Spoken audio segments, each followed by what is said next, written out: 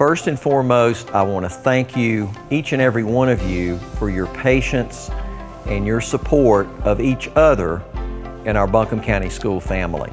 I'm standing in the middle of our Family Resource Center. Shannon Boyd and her team are delivering meals and providing supply kits to over 100 homeless and high at-risk population families across Buncombe County.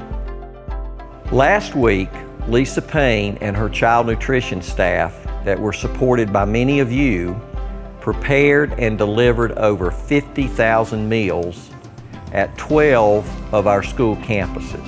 And those were delivered by over 50 of our yellow school buses to families across Buncombe County. This is an essential function during these times of crisis.